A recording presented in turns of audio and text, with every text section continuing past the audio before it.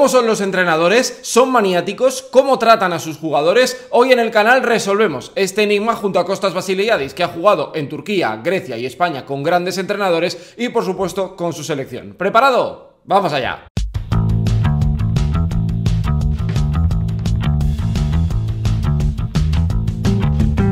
Muy buenas, bienvenidos a mi canal, hablemos de básquet y hoy para hablar del mundo de los banquillos, de algo que también nos gusta preguntar y conocer detallitos de los eh, entrenadores que muchas veces como una figura muy idealizada, muy mítico, muy, son muy raros, son muy especiales. Bueno, pues vamos a responder a muchas de estas cuestiones con alguien que ha tenido muchos en diferentes países y diferentes etapas de su carrera como es Costas Basiliadis. Costas, ¿qué tal? Muy buenas. Muy buenas. Bueno, hoy tienes un tema que puede dar mucho juego, ¿eh? porque has tenido muchos entrenadores y muy buenos. ¿eh? Todos raros.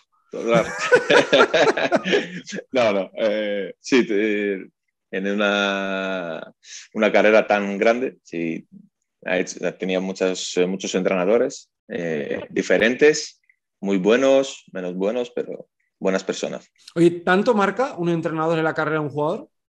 Claro, claro. Te puede ayudar, te puede cambiar la vida. Yo digo siempre que, que hay entrenadores que te pueden ayudar y te pueden cambiar la vida. Eh, y hay entrenadores efectivamente, si no les gusta, no les gustas, te pueden meter menos minutos o nada y te pueden ir eh, abajo. Sí, que te pueden fastidiar, por decirlo suavemente, te pueden fastidiar tu, claro, Claro, es que esto es un tema muy interesante porque no sé si tú lo percibes así. No, luego ya, como tú vas a ser entrenador, veremos cuántas influencias tienes de todos los que te voy a preguntar hoy, porque se te notarán cosas. Porque, por ejemplo, a Saras se le nota mucho que has sido pupilo de Obradovich por ponerte así un ejemplo que se ve. sí, bastante. En los gritos. se pone muy rojo. pero es cierto que marca, ¿no? Quien has tenido, ¿no? Pues igual que esta figura de padre o madre, pues bueno, también entrenadores se, se nota. Así que vamos a hacer un repaso porque es que el listado que ha tenido Costas y que va a seguir teniendo también como, como jugadores es muy, muy amplio. ¿eh? Eh, lo primero, antes de ir con los nombres, ¿Son personas normales o esta sensación que tenemos todos de que el entrenador está un poco como endiosado, un poco eh, eh, figura muy especial? O sea, luego puedes tener un trato persona a persona. Con algunos sí, algunos no, porque, bueno, cada uno tiene sus cosas en la cabeza, que piensa que un entrenador no puede ser, eh, puede estar cerca de un jugador, no puede ser amigo de un jugador, y hay algunos que como yo pienso también, que tienes que tener al jugador en el mismo nivel que tú, eh, sin pasar la línea, con mucho respeto al entrenador, pero puedes tener una, eh, ¿cómo se llama? Una buena conexión entre el entrenador y el jugador. Porque el entrenador es que da las órdenes, pero los jugadores te pueden hacer mejor entrenador. Totalmente. Es que yo creo que hay una línea muy fina entre lo que mucha gente piensa que es alguien que, ni, solo va a los entrenamientos, ejecuta su trabajo y se va, y luego el que se va a tomar cervezas, por así decirlo, que es un ejemplo muy claro. Creo que hay un punto intermedio en el que te pueden preguntar cómo está tu familia, eh, si te pasa algo, eh, o tú le puedes preguntar, oye, ¿cómo está tu mujer? ¿Cómo están tus hijos? O, cómo... o sea, me refiero, eso tiene que existir, yo creo. Yo creo que tienes que tener esa conexión que hemos dicho antes que tienes que saber lo que pasa en la vida de tu jugador para poder entrenar diferente. Sin saber nada y el jugador que le pasa muchas cosas en la cabeza no puede rendir bien en el entreno, en los partidos. Tienes que saberlo eso y tienes que manejar estas cosas pequeñas para mejorar al jugador en la cabeza más que, como jugador, eh, que te puede ayudar en, un partido, en los entrenos. Mira, esto de gestión de vestuario, antes de ir con los nombres de, que ha tenido costo en su carrera, me contó Carlos Sánchez Blas, periodista de Onda Madrid, hablando de Pablo Lasso, que me parece número uno en esto. Eh, Pablo Lasso, tiene, entrenando en el Madrid, eh, se dio cuenta que los jugadores, bueno, pues tenían la necesidad de llevar a sus hijos al colegio. Y cambió el horario de entrenamiento del Madrid eh, para que los jugadores pudieran llevar a sus hijos al colegio y luego ya ir a entrenar.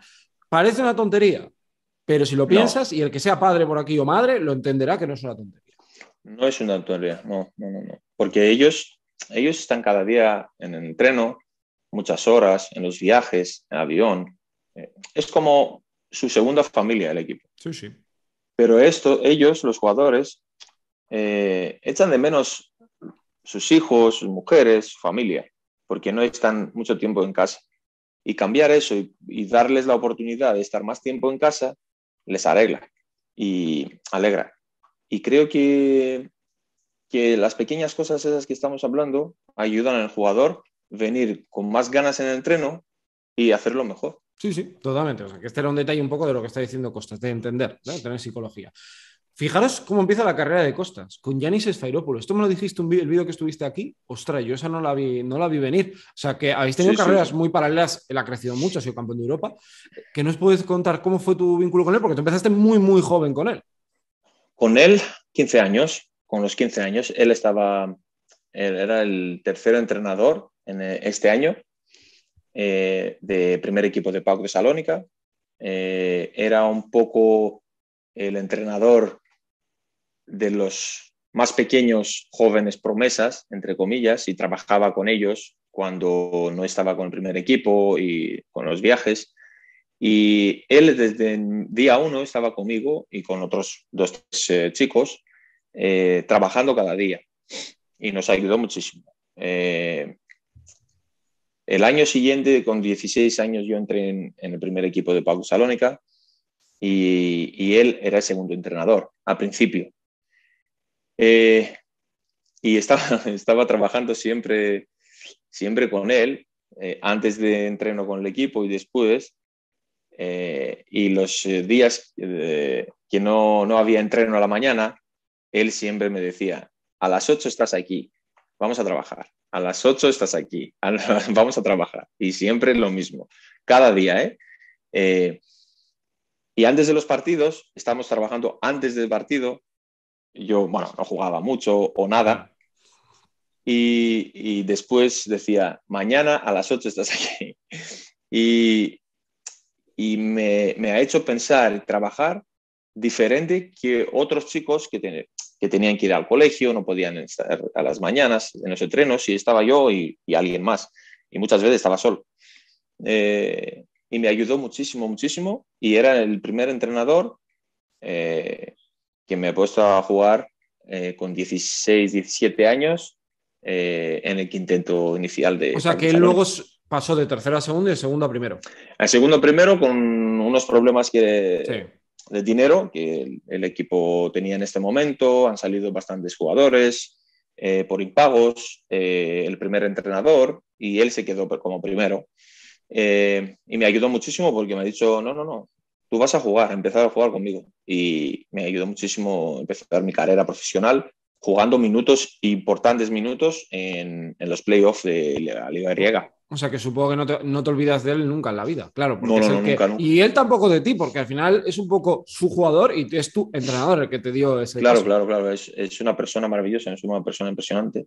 Eh, y bueno, no hablamos de entrenador porque es, ahora mismo es entrenador de Euroliga, el nivel de Euroliga, y seguro que, que va a encontrar un, un, equipo que va a estar más tranquilo después de lo que pasó en, en Maccabi y, y, va a encontrar su sitio y su tranquilidad para entrenar bien. Es que también vaya a Plaza Maccabi, te la VIP, o sea, muy bonito y tal, mucho dinero. es una locura, es una locura. Si, si lo haces bien, porque porque el eh, año pasado, te acuerdas muy bien, que han empezado 8-0, 9-0 y han hecho 8, partidos seguidos, han perdido 8 partidos seguidos o 9 y empezaron a decir que se va a Serópolis, que no sé qué.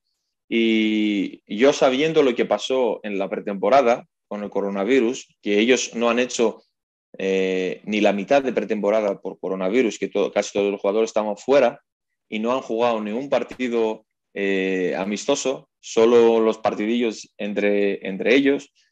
Y, no es lo mismo tener un año muy, muy bueno después de todos estos problemas. Pero bueno, eh, tienes que tener resultados y eso es lo más importante. ¿Y tú que has conocido a Sfairopoulos desde el principio hasta ahora, ha cambiado? Como persona, tú le ves entrar y dices, qué, qué, distinto es o no, sigue siendo la misma. Persona, persona no, pero entrenador me imagino. A mejor, claro. Que, claro, es mucho mejor, mucho mejor. Pero como persona, quiero decir, en el banquillo es el mismo. Cuando tiene que, presionar, presiona a los jugadores, los ataca, cuando tiene que felicitarlos, los felicita. Eh, es un entrenador muy justo con los jugadores. Pues dile que vaya aprendiendo castellano, que yo creo que le vendría bien, ¿eh? por, su futuro, porque yo creo que aquí podría tener hueco. ¿eh? Creo, ¿eh? de verdad. es un buen entrenador. Por eso, sí, sí, me parece muy buen entrenador, la verdad. E, el siguiente, claro, tú llegas a España y te encuentras con Sergio Scariolo. Eh, yo conozco a Sergio ¿eh? también y me parece que todo el mundo que ha hablado de él, jugando mucho o jugando poco, ha sacado una experiencia brutal de él. No sé cómo es la tuya. No, no, eh, es el entrenador que me ha dado la oportunidad de venir aquí, elegir y decir, Costa, a ti te quiero, ah, para mi Unicaja. Y Unicaja era el mejor equipo de, la liga, uno de los mejores equipos de la liga. Sí, sí, sí. Y estamos hablando de años que habían muchísimos equipos muy buenos. No es que ahora Real Madrid y, Barcelona los top, los top y después los equipos van, más, eh, van bajando. En esta época era, era, la liga era muy competitiva.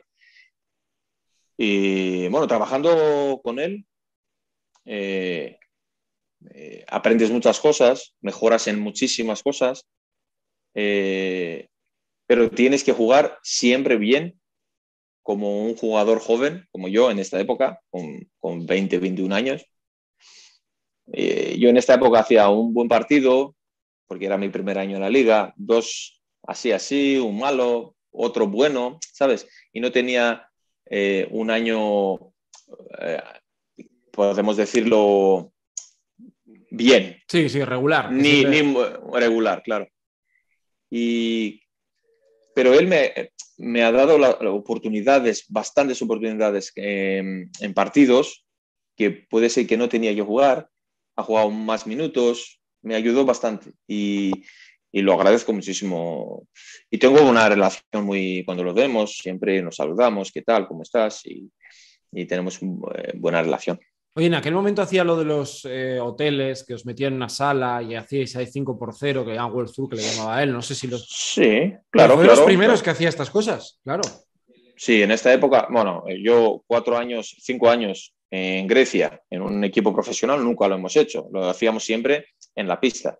Eh, pero él lo hacía en el hotel también, eh, repasando cosas de, sistemas, eh, eh, muchas cosas de, los rivales de la defensa, cómo vamos a jugar ese sistema, otro sistema, bueno, cosas diferentes, muchos detalles que es bueno tenerlos claro para estar preparado en el partido. Y, este equipo siempre estaba preparado en, en el partido por cualquier sistema, cualquier situación que podía pasar.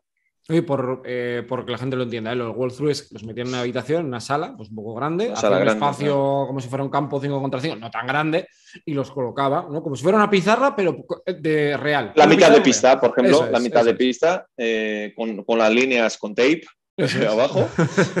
sí, y, y ropa así, con tape, como un balón. Eso es, para que no hubiera ningún tipo de riesgo de lesión ni de nada. Eh, nada, nada, eso es, eso es. Eso es. Y, bueno, siempre se ha dicho que era muy bueno preparando partidos. Eh, uh, había cosas que te sorprendían, Andrés, porque claro, tú eres muy joven además, llegabas, igual te encontraste alguna sorpresa. la primera sorpresa era cuando entra primera vez en el entreno y tenía el, eh, micrófono con, con el, ¿cómo se llama? Eso. Sí, con el altavoz. Con el altavoz que le pueden escuchar los jugadores. Y miro aquí, así, digo, que no hay gente, pero estamos solo el equipo. Les vamos a escuchar sin el micrófono, ¿sabes? Pero siempre traba con el micrófono, con esto. Muy profesional, otro nivel. Y eso ahora mismo, después de tantos años, eh, lo veo y digo, mira, él pensaba mucho más adelante que todos nosotros. Sí, sí, sí, sí. Y por eso, por eso él estaba en, en NBA y nosotros lo vemos desde la tele. No, no, y es una persona espectacular, ¿eh? Yo eso, sí, sí, sí, vamos, lo que he podido tratar con él casi algunas veces siempre, y por algo le pasan tantas cosas buenas. Luego vas a, a, Grecia eh, y bueno, tuviste, claro, es que aquí hay dos nombres, ¿no? Uno Yanakis y otro Pini Gerson. Yo tengo, tengo curiosidad por, por Pini Gerson sobre todo, porque parece un personaje que se ha hablado muy poco en España, pero me parece un personaje de la historia de la Euroliga. Personaje y un vividor, un vividor. pero, pero eso no es malo. Eh, no, no, no. Y como entrenador, en esta época, que la época era, la época del baloncesto griego era muy buena, pero un baloncesto diferente, él, fichando por Olympiacos, ha jugado una cosa que nunca han visto en Grecia. El eh, juego rápido que aquí, en España, lo jugamos muchísimos años más siempre corriendo, siempre contraataque, siempre en transición, nada, casi nada, entre comillas, 5 contra 5. En Grecia no lo teníamos, siempre era de bote, balón al base y relajados, 5 contra 5. Vamos a jugar sistemas, 24 segundos. En esta época 30. Sí. Soy muy viejo. Eh, después se la cambia. Pero él ha traído una, cosa diferente, un juego diferente. Y muchos en Grecia le atacaban por eso. Pero a él le daba resultados con los jugadores que tenía. Y, para mí era una experiencia muy buena porque después de Málaga, que, que me ayudó muchísimo a adaptarme en estas situaciones, estaba preparado para jugar en Olympiacos en ese ritmo.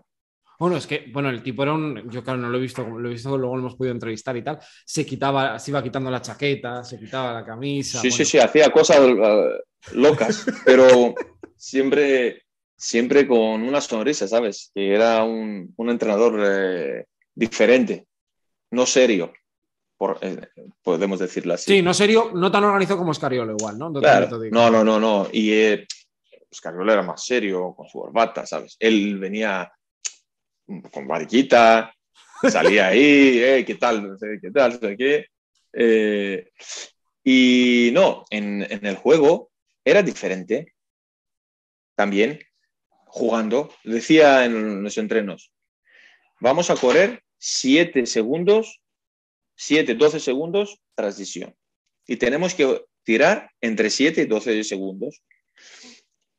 El que coge el balón primero y no tira, tiene que pasarla directamente a alguien que tiene que tirar. No podemos jugar más de 12 segundos para tener más posiciones, para tener más ritmo, para tener más puntos. Y el que puede meter más que nosotros jugando bien en defensa, muy bien, perfecto me parece muy bien. Y el único equipo que nos podía ganar era Panathinaikos en esta. Hombre, con Celco, con Celco Grado. ¿tienes alguna, anécdota con, con Pini Gerson? ¿Alguna cosa que se pueda contar? Claro, claro, claro. Em, yo jugaba siempre desde el banquillo, me ponía 12, 13 minutos, siempre 14, y me decía siempre, tú entras, corres y tiras. No quiero cosas diferentes, botes, piquerol, no. Tu juego es correr y tirar. Digo, vale, perfecto. Bueno, jugaba bastante bien por los minutos que, jugaba, 13-14, y tenía 10 puntos de media, imagínate. Ostras, muy bien. Sí, y eh, en un partido contra, contra un equipo de Larisa, un equipo de pequeño, entre ¿Dónde comillas. ¿De dónde es Spanulis, no? ¿De dónde es Spanulis? eso es, en la ciudad de... Eso es. Jugamos en, en Atenas y, eh, bueno, el partido... estamos ganando de 40-50 Tercer cuarto, yo no he jugado nada, cero minutos. Digo, ah, vale, no, no me va a poner porque es un partido fácil. Gira, me mira, me dice, oh, Costas, estás aquí. Digo, ¿cómo está? Uh, perdona que no te ha puesto, eh, me fue a la cabeza. Eh, joder, eh, ¿puedes por favor ir ahí dos minutos, hacer un poco de stretching, un poco las piernas para entrar a jugar? Porque eh, yo pensaba que no estabas aquí. Digo, ¿cómo no estaba aquí? Me dice, sí, sí, no te has visto. Digo, ¿dónde están cosas? ¿Dónde están cosas? Eh, y, me pone, me pone los 12 minutos, metí 14, 16 puntos y me, me dice después partido, muy bien, muy bien, muy buen partido. el próximo partido vas a entrar titular. Así. El próximo partido me ha puesto titular. ¿En serio? solo porque... Te lo dijo. Eh, sí, sí, no, solo porque me dijo que, perdona, era mi fallo, que no te ha puesto antes, porque pensaba que no estás aquí. ¡Hostia! Pero, ¿cómo se te puede olvidar un jugador? Me gira, me mira y me dice, ¿pero estás aquí hoy? Y digo, sí, claro, aquí estoy. Como todos los días. Me dice, vale, perdona, pero voy a pasar adentro. Yo creo que esta anécdota explica a la gente que igual no le ha visto cómo es Pini Gerson. Porque tiene pinta de ser así, pero muchas veces. Sí, sí. Pues es un. Imagínate que en los entrenos él tenía a, su segundo y a Yanis Ferópulos. Claro. Ah, vale. Como segundo. Y tenía un plan de, de trabajo, de entreno. Él decía: Yo voy a entrar en el 5 contra 5. Vosotros podéis hacer todo, calentamiento, los sistemas 5-0, todo y después voy a entrar yo. Y, entraba siempre 5 contra 5, solo para decir que tenemos que correr, tenemos que tirar en 12 segundos, tenemos que eh, generar buenos tiros en poco tiempo, en los 12 segundos. Y jugamos 5 contra 5 sin parar, que dice que como entrenamos, tenemos que jugar y no te puedo parar cada dos minutos parar el 5 contra 5 y nos hacía arriba, abajo, arriba, abajo. 45 minutos, una hora.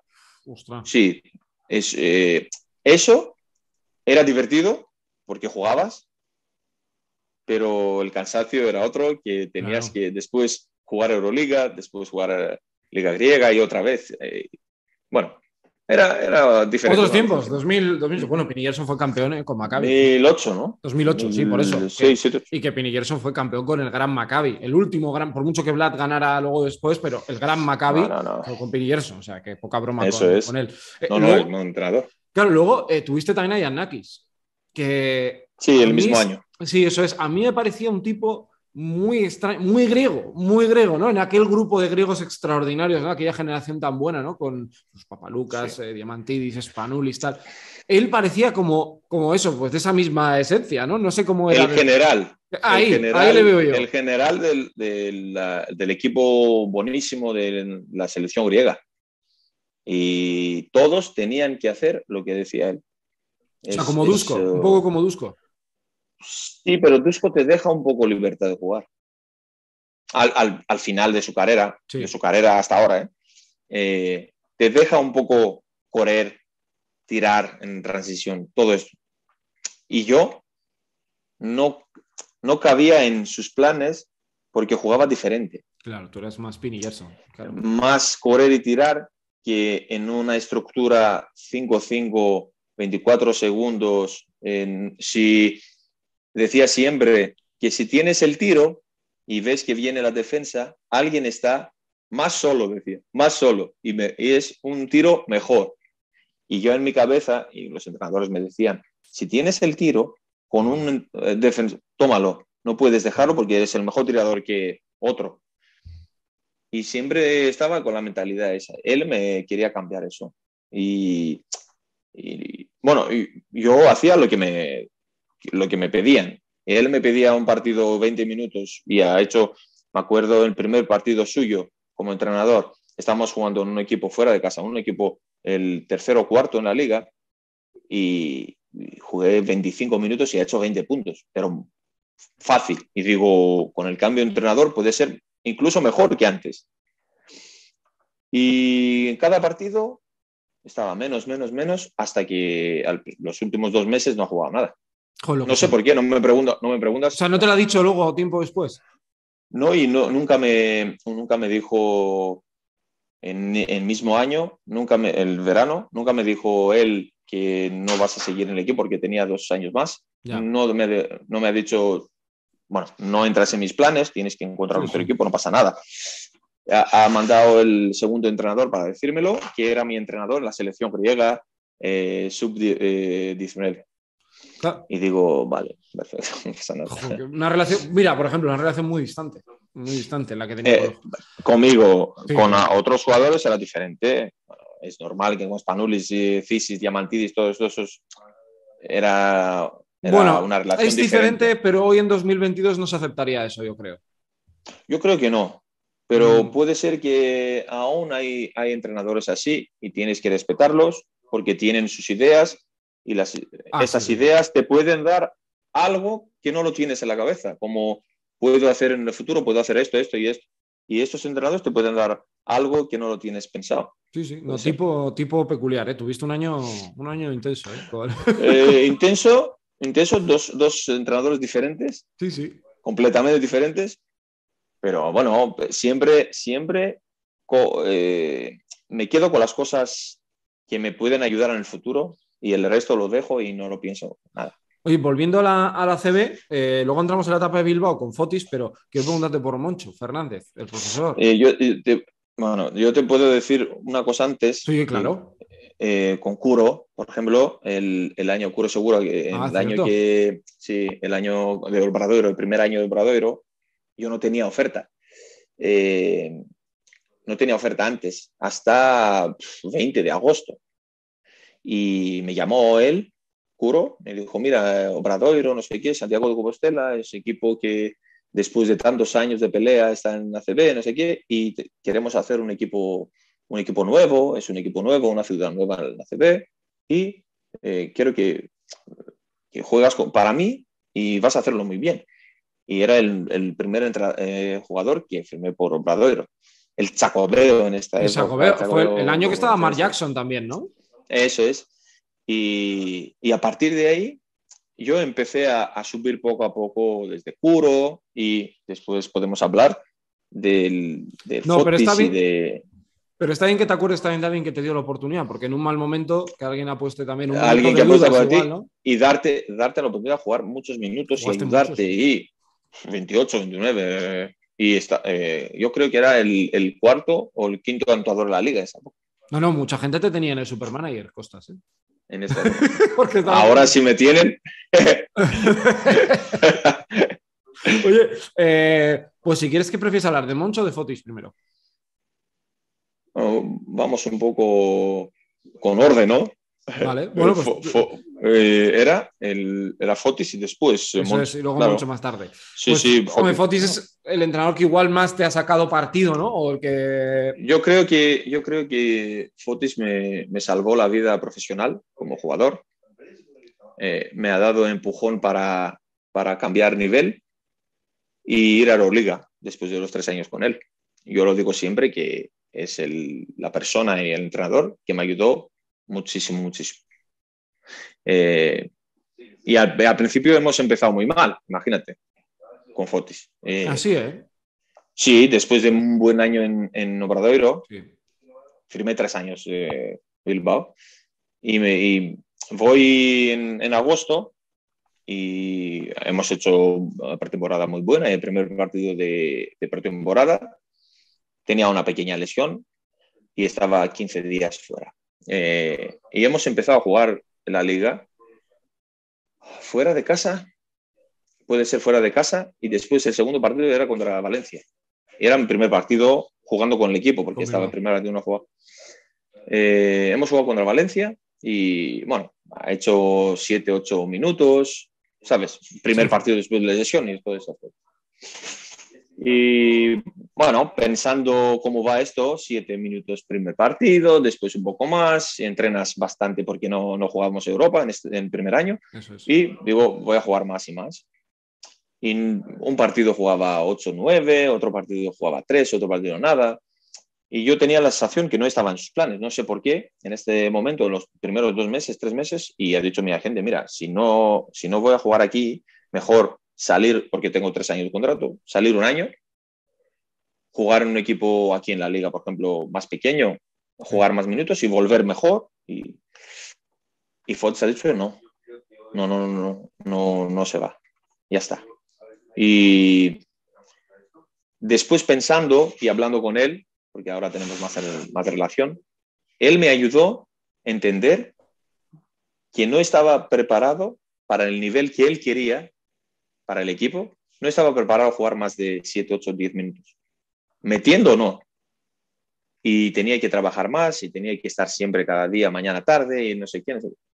Me ayudó muchísimo, porque los tres, eh, tres meses, cuatro, estaba trabajando mañana, tarde, mañana, tarde, siempre para mejorar físicamente, para mejorar mi juego, hacer más cosas, quiero todo. Y eso me ayudó muchísimo para poder empezar y jugar más minutos a partir de diciembre. O sea que él lo estaba haciendo a posta, pero no te dijo nada. No, no, no, no me dijo nada. Ostras, pues yo pensaba que tendríais, me refiero que como muy muy buena relación desde el principio por aquello de haber sido los dos griegos. No teníamos mala relación. No, no, no, pero, eso me la imaginaba muy muy cercana, muy muy cercana desde el principio. No, ahora, ahora sí, pero al principio no. Al principio no lo conocía en esta época. Nada, ¿eh? ¿Habéis como...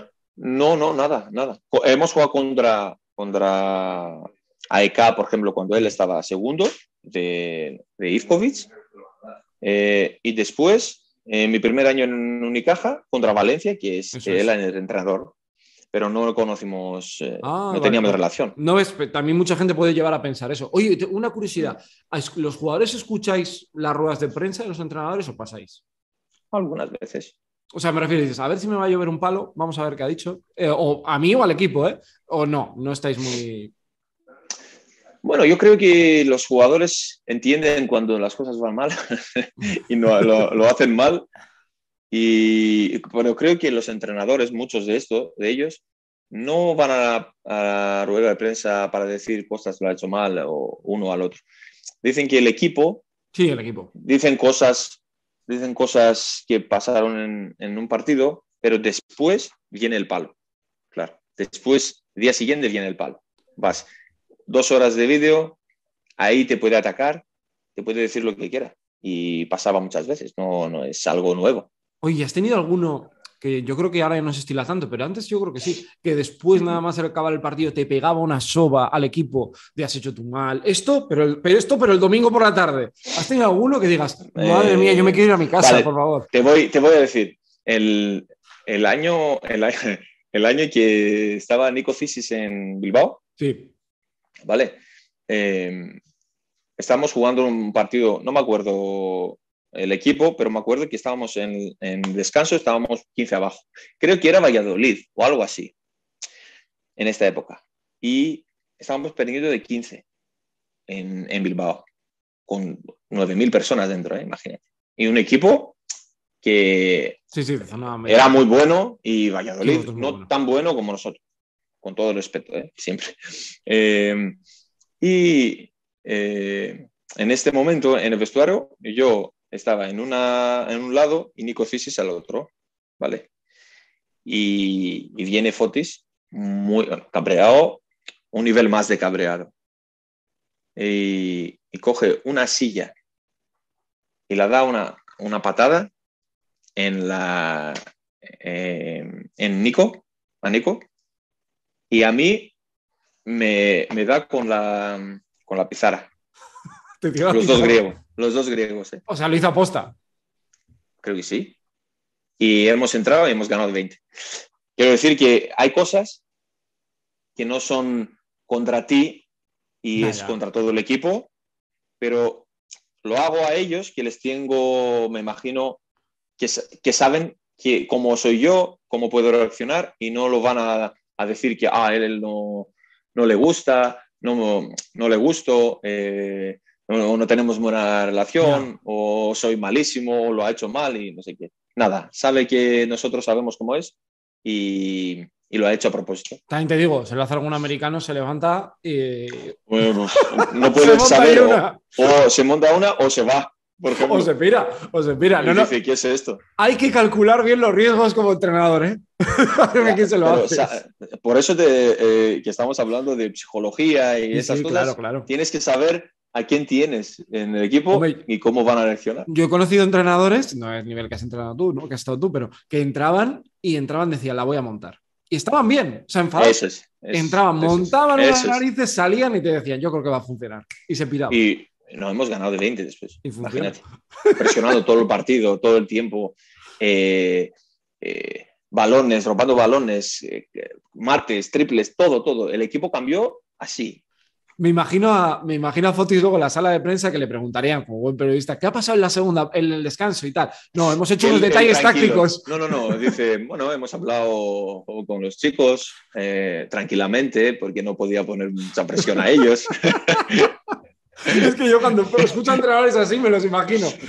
Y le ves con la corbata por aquí, con el camisa abierta. Además con lo que es Fotis, que es que además te, hablaría en inglés, en griego y en castellano.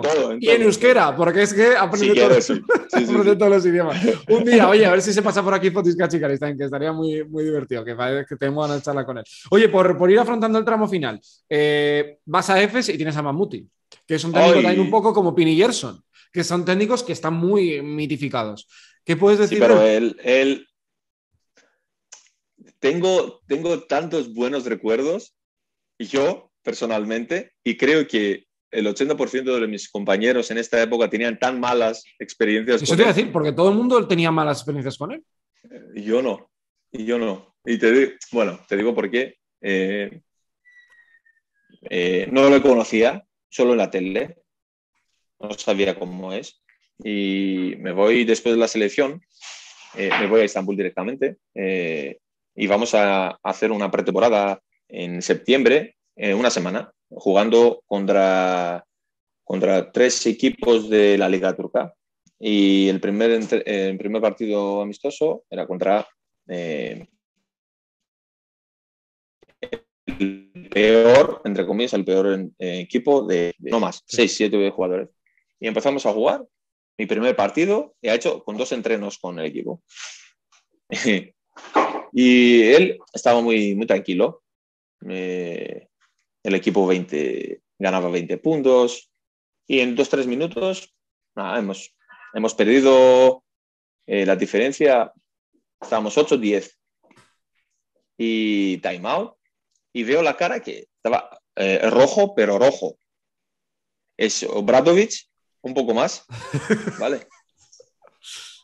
Y coge la pizarra, nos sentamos, estaba jugando, nos sentamos y da un puñetazo en la pizarra y la pizarra hace así, como y, y, nos coge un jugador así y le dice algo en el turco, serbio-turco, ¿sabes? Y yo tenía un miedo, digo, yo no puedo jugar con él. ¿Dónde me he metido? Con la, con la primera me va a coger del cuello y estoy muerto. Eh, y yo apartado, ¿vale? Yo no decía nada. Digo, voy a jugar, no voy a hacer ni un tiro para no hacer algo mal. Termina el partido, va poco a poco la temporada, empieza la temporada, jugamos el, el Final Four, bueno, era grupos para, para, la Copa. Y el primer partido, me dice Costas, eh, antes del primer partido, eh, estábamos siete extranjeros y podían jugar seis. Y me dice el primer partido, no vas a jugar hoy. Si quieres, vete, descansa, haz lo que quieras. ¿Vale? No vas a jugar, por eso no tienes que entrenar. Y digo, no, no, que me voy a quedarme, me voy a quedar con el equipo, hacer los tiros, 5-0, lo que hay, y estoy con el equipo. Me dice, vale. Y a partir de este momento, nunca ha salido de los 12. Y me dijo, me dijo él, solo porque no te has ido a sentarte o a hacer pesas y querías estar con el equipo, lo valoro muchísimo y, nunca vas a salir de, de, los 12. Y a partir de ahí jugaba mucho más, jugaba, era el primer anotador de, en la liga. Y hasta, bueno, él me ha ofrecido eh, quedarme dos años más. Ah, luego la anécdota del asistente, ¿no? Que luego vino el asistente. viene, yo tenía casi preparado dos años, bastante dinero, dos años de contrato, oferta, y digo, vale, jugamos contra Bamberg en casa, Euroliga, perdemos y le echan. Y viene el segundo de, de Ivkovic y me corta el contrato. No solo el nuevo, y es lo que tenía. Y era tío. el que tenía. Es que... era griego. Ya, eso me, eso me parece increíble. O sea, ya ni por un punto de camaradería. Mira, no te renuevo, pero acaba el año. No sé, ¿eh? Por poco uh, no, ser compatriota. Pero... Eh, bueno, son cosas que pasan. O sea, podemos decir que Mamuti no tenía, no se cortaba, ¿no? O sea, si tenía que decirte algo a la cara, te lo decía y se quedaba más ancho que la Te lo decía.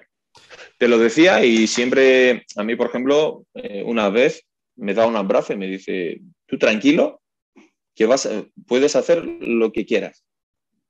Porque siempre, nunca, en todo el año, nunca ha dicho ni una vez algo contra él. Y había gente, bueno, imagínate, si, si cobras 3 millones de dólares cada año, si el entrenador te dice algo, alguna vez respondes. No es, no es bueno, pero pasa yo nunca, bueno, no tenía tan, un contrato tan grande, pero, eh, pero nunca ha dicho, nunca, nunca ha dicho algo contra él. Siempre cuando me hablaba hacía así y, y eso lo valora muchísimo. Bueno, en aquel equipo estaba Dusko, Dusko Savanovic, ¿no? Si no me equivoco. sí, sí, sí. Bueno, Planinic, Chamon Gordon. Es que cuando se empezó a decir lo de, los 3, lo de los 3 millones me acuerdo de Zoran también. Y luego llegaría Barach por ahí también, ¿no? Años después. Barach estaba ahí. Barach es un ejemplo de vivir bien la vida, ¿eh? porque dio el palo y se puso a jugar en el B. ¿Te acuerdas que jugaba en el B? Bueno, él, él, él, por ejemplo, en esta época tenía problema con la espalda y ha hecho la operación y, y por eso no, no, no, podía jugar con nosotros. Lo más que firmó un super, un super contrato, la verdad, Alex de Vasconia. Y para terminar, Sí, sí, sí, mucho, ¿eh? la verdad que. Tan de grande. Eh, para, tan grande como su altura. Sacamos una idea. Un poco más, un poco más. Oye, nos quedan Moncho Fernández, Sito por la actualidad y el último Trinqueri, que es por la selección que te tengo que preguntar por él. Así que de Moncho y de Sito, que son dos entrenadores de, escuela CB ya muy clásicos. A Sito lo acabas de tener este, este año también y a Moncho. Eh, ¿Qué destacarías de los dos? Porque uno es como el profesor, que tiene un carácter también muy particular y que pero luego se hace querer. Y Sito es un técnico que hay gente que lo valora mucho y hay gente que, que no lo tiene mucho aprecio. No sé tú cómo ves a los dos, qué puedes contarnos un poco de ellos. Bueno, eh, bueno, Moncho le conocéis cómo es, en, su, en su rollo, en su estilo. Eh, bueno, últimamente lo ha cambiado bastante, porque te acuerdas que desde el principio hasta hace dos años, tres años estaba jugando muchísimo con tiradores. Sí. Eh, y sacaba muchos jugadores tiradores buenos. Y hay segurísimo que algunos grandes muy buenos, como Gusto Boy, que hemos hablado otro día para él. Sí, sí, hablamos de él. Eh, pero a mí me ayudó muchísimo por su estilo de juego. Imagínate si vas en un equipo, que el equipo juega el mismo estilo que es tu juego, saliendo de, bloqueos y tirando, y tirando no uno, dos, tres, tirando cada vez que estás abierto, estás solo. Eh, sin pensar que me va a sacar, no sé, nada. Juegas para esto y jugamos siempre así y me ayudó muchísimo. Es un entrenador, trabaja mucho todo el año. Eh, estás, yo creo que estás en un momento a partir de febrero o marzo que estás muy cansado eh, trabajando mañana, tarde, cada día, mm. ¿sabes? Todo el año. Y creo que por eso sus equipos tienen un bajón importante en, en un momento del año que el equipo, este equipo no sabe jugar dos partidos a la semana. Y creo que algunas veces afecta. Eso afecta. Eh, pero es un entrenador muy bueno. Eh, está con Obrador tantos años en ACB. Eh, me imagino que va a seguir ahí sí, sí, sí, para el año que viene. No hay alguna novedad, ¿vale? Y ya. Yo creo que tiene la oportunidad de, de este año hacer un equipo bueno para ver si puede llegar salir Europa, jugar Europa. Sí, este año han pedido la opción de creo de poder jugar Europa, finalmente no lo han tenido. No digo, no pasa nada, que, pueden jugar bien este año y, pueden estar dentro de los nueve, diez primeros y, jugar Europa para el año que viene. ¿y de, años. ¿Y de Sito? Eh, porque es que ha pasado por Bilbao, Donosti, Vitoria, Barcelona, eh, ahora es Juventud, por todo, todo. Empezó. Y en Murcia ahora, ¿no? Que es como que encontró un poco su sitio, pero ¿qué puedes decirnos de él? Tiene, bueno, es, trabajador, mucho trabajo, eh, muchos detalles. Eh, está estudiando muchísimo los partidos, analizando mucho con vídeos. Imagínate, en una semana tienes tres, cuatro vídeos. Más lo individual que te pueden mandar cada jugador. Eh, juegas contra, contra ellos, esos son jugadores tiradores o los grandes o cualquier cosa. los analizan y estás preparado.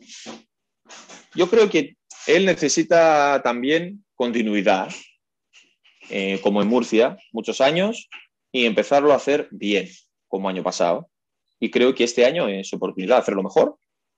Y a partir de ahí, bueno, me imagino que, que va a querer hacer eh, algo diferente en un equipo más, más grande, con más, más eh, dinero, Euroliga si puede ser, no, igual su, igual su carrera también cogió más, más, velocidad de la cuenta. Hacer... Claro. Es que pasar Basconia, Barça, ostras, ya era muy. Yo creo que eran trenes. En el Basconia tuvo a Larkin, ¿eh? ¿eh? Y en el Barça, bueno, ni qué decir lo que tuvo aquí en el Barça. Que... han jugado muy bien. no, no, este el Basconia estaba hasta la Copa, jugó muy bien aquel equipo, con Barniani, bueno, era un equipo tremendo. Seguramente una de la última gran, gran plantilla del Basconia. Eh, bueno, y el último, eh, que es el más excéntrico, pero que tú un día me dejaste un detalle y me dijiste, pues es que es un tipo muy, muy normal, muy tal, que es Andrea Trinqueri, que lo tuviste con Grecia. Muy tranquilo, claro, claro, muy tranquilo, muy normal. Eh, buen entrenador, buen entrenador. Eh, ah, bueno, y es muy recto y muy correcto también. Eh, con los jugadores que, imagínate, en la selección, que estamos jugando 15 personas, 15 jugadores, y tenía que elegir 12. Y cada uno siempre le llamaba, él, no otro, otra persona, él, ah, ven a mi habitación, pasó esto, esto y esto. Yo pienso que no puedes jugar en, esto, en este grupo por cualquier cosa que piensa él. Eh, nos daba un regalo y a casa, siempre, siempre. En todos los jugadores que pasaron de esto. Pero como entrenador es muy bueno. ¿eh? Tiene, bueno, hace tiempo, hace muchos años que, que le tenía yo hasta ahora, ha cambiado muchísimo. Juega más, más, más baloncesto de menos puntos que lo, que, lo normal. Porque imagínate, este año hemos visto partidos de Bayern que, jugaban 66, 68 puntos. Muy buena defensa, pero un ataque contra, con el talento que tenían, yo creo que no podían, no tenían que, jugar así.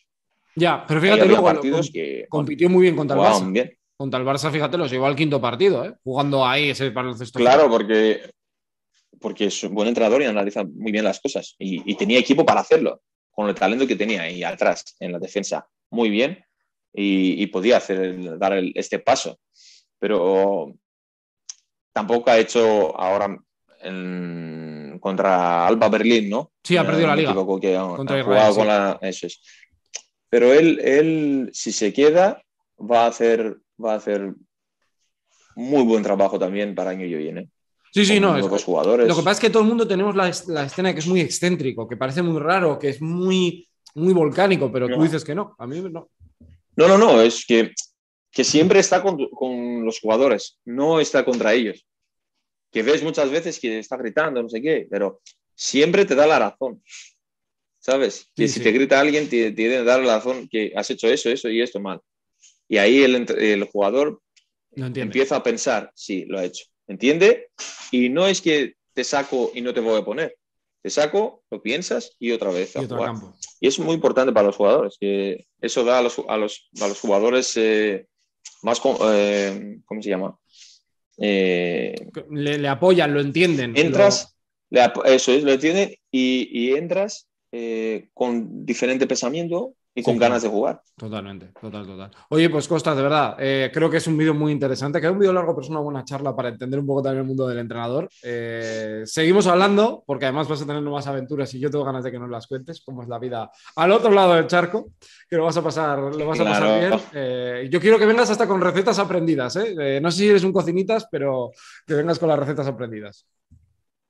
Las arepas, las arepas, cuidado las arepas, que son muy buenas, ¿eh? Vamos, vamos a ver, vamos a ver, eh, porque no, nunca, nunca he comido esto. Ah, pues yo te la recomiendo. Me dicen que está muy bien. Yo te la recomiendo. Es que tengo una ¿Ah, compañera, tuve una compañera de trabajo venezolana, una amiga, y la verdad que hace unas arepas espectaculares. O sea que es una recomendación. Te la hace un vasco. Vale, vale, vamos a ver. Es como si hubiera ido a Venezuela a Caracas todos los días, pero te, la, doy. Oye, pues eh, un abrazo muy fuerte, Costa, y seguimos hablando aquí en el canal. Cuídate. Muchísimas gracias.